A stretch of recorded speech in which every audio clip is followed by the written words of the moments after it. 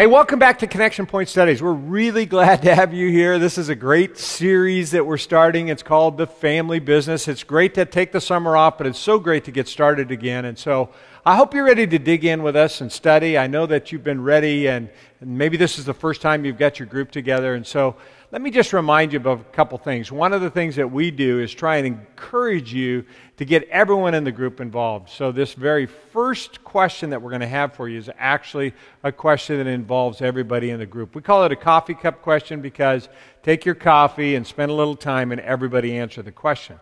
Now, we have a, a guest with us here today. This is Brian. Brian's our uh, encounter pastor, and he works with, tell us who you work with. Uh, youth and young adults, junior high, high school, young adults, all the way around. I work in some capacity with, with everybody. And the reason we have him here is because this first topic is about how to find a good partner. How do Yeah. you find a good partner? Really, it's a little bit about dating. Now, for some of the married couples, there's still some applications there, right? Uh, yeah, they always say that you need to continue dating all through your marriage, right? there you go. Okay. The, the same person, obviously. yeah, the same person. okay.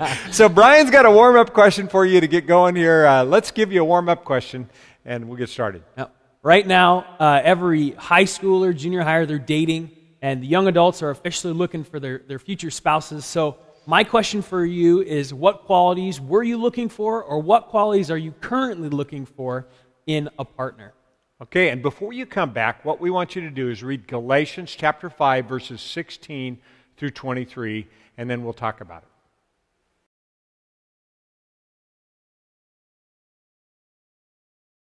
Okay, Brian, uh, you know, uh, t- tell me about the qualities you were looking for.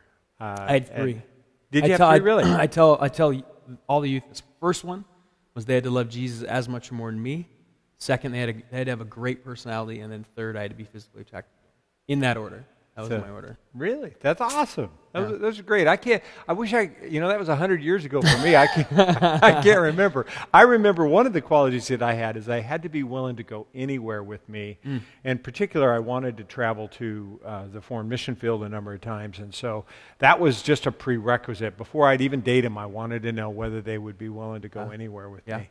One of the questions was, would you have kids in a hospital overseas? And that would be tough. That which was tough. really interesting Yeah. question and and uh, uh, anyway so hopefully you had a good chance to share a little bit about your qualities but we actually ask you to start to read the scripture which when you first look at the scripture you may say well what does this have to do with dating but i think you'll understand as we begin to develop the questions so brian give them the first question we want them to look at Uh, how do you let the Holy Spirit guide your life?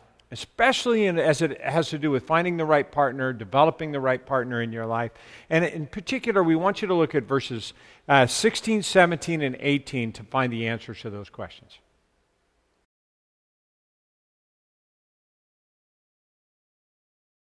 Okay, so Brian, uh, as they've answered that question and they've thought about that, uh, I bet they've had a lot of different answers in this I'm regard sure. Yeah. because it, it's it's kind of one of those questions that when you say how do you let the holy spirit be your guide it can be such a broad question Oh yeah, absolutely. but when we look at this and verse 16 says let the spirit guide your lives then you won't be um, doing what your sinful nature craves isn't that really the problem with the holy spirit in this whole arena Yeah, you know, I think when you are letting the Holy Spirit guide your life, you got to listen to Him. You actually got to let Him speak to you.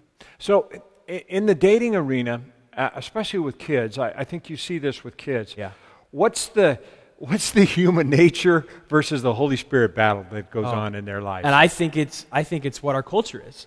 That we have to date this perfect person that looks specifically a perfect way when I think it's not. I think the Holy Spirit's going to lead us into a healthy, wholesome relationship with somebody and not necessarily a relationship that's going to directly go against what we believe and what the, and what's in the Bible. Right. And what's interesting to me is I, as I've seen people in this partnership and the dating and, and, and all of this that takes place is that I've seen people that are driven by the physical relationship. And when the physical relationship, really that's our human nature. Yeah. And that's not the Holy Spirit. Yeah. It's, it's Yeah. called they're in heat, you know. so so that, there's a problem there. So when you let the Holy Spirit, it, you kind of have to go against even your physical desires at times and, and begin to listen to the Spirit in his life. I, I love what it says here the sinful nature wants to do evil. So you do have this conflict in your heart, and there's a certain amount of, of um, openness that you have to have in your heart. Now, we've got a second question for them to uh, focus on. Let's, let's ask that question. Yeah.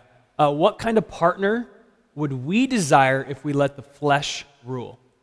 That's a great that's a great question, and you can again look at verses 17 and 18, um, or even uh, 19. You can kind of look at a list there and uh, begin to develop out of this scripture uh, what what would happen if the flesh rules.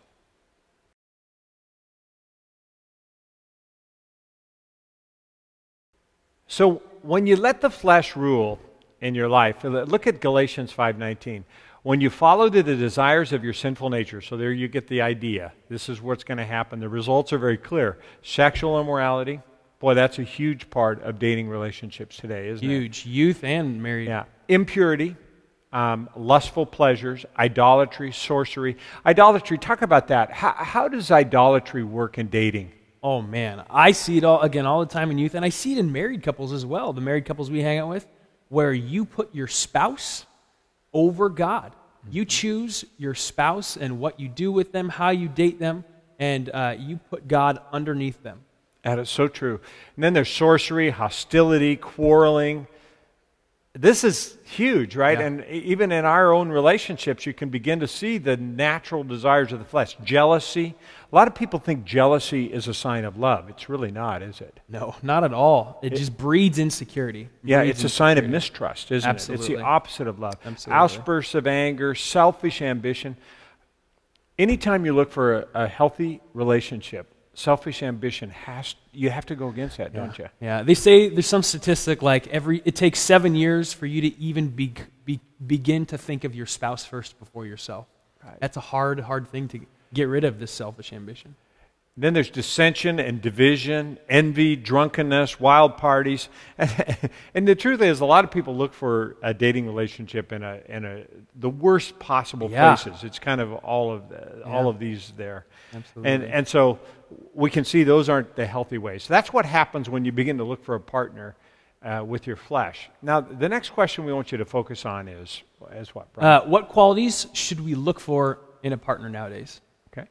And if you're a married couple today, uh, think of that this more in the terms of what qualities should you have in your own life as you think about this. So specifically, we want you to look at uh, verses uh, 22 and 23 as you begin to look at those qualities.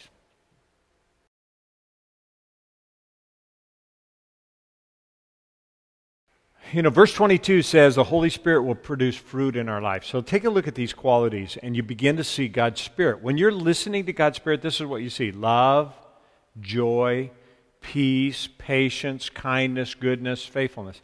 I kind of think these build on top of each other, don't you? Oh yeah, and they're not easy either. Right. They're definitely not easy. So how do you start with love? I, you know, it seems like love encompasses all the other things, but uh, what, what's the way that you show love to somebody that, that you are dating or, or married to? How, how, how does that play out in real man. life? Uh, I think I think honestly, the first way you begin to love somebody is you choose to die to yourself first. You know, you choose first to take away your own selfishness, your own desires. Let and me put you on the spot. How do you do that? person. Oh boy, how do I choose to love my wife first? No, it's Uh, just hard to do, isn't it? It is, and we It's really fail at it a lot, don't we? I fail at it a lot. Yeah, especially we, we yeah. both. As you look at this and we we think about this, I want you to think about these qualities in your life. So take a look at this: love, joy. And a lot of people are just hard to get along with because they they're not happy. Yeah, they're if they're not happy Yeah. alone, they're never going to be happy together, Yeah, are they?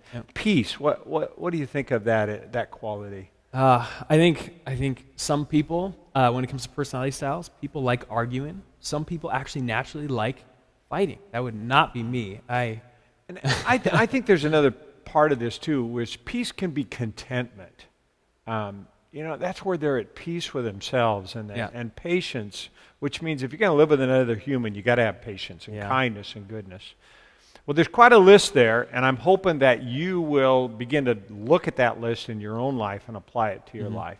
Which brings us to the last question that we wanted to look at here. Yeah. Uh, where am I in the process of God's Spirit making me to be a better partner? And that's probably a good one for you to talk about as a whole group. Take time and each of you share on this, uh, on this question so that you can uh, begin to think about that in your own life. And then we'll come back and talk about it.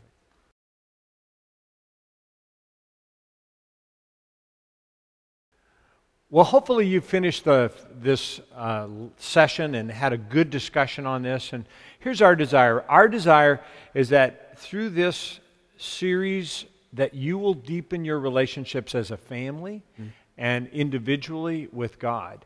And so I encourage you to make it, make it a priority in your life to make every one of these sessions. I encourage you to do that. So as you close out, I, I encourage you to pray for each other. If somebody's there eh, that is in a dating relationship, or sometimes they have kids in a dating relationship, maybe take a little bit of time and pray for the future spouse that they may have. yeah. And uh, take a little bit of time to develop uh, your prayer time around the group and, and pray for each other. And we'll see you next week at Connection Point Studies.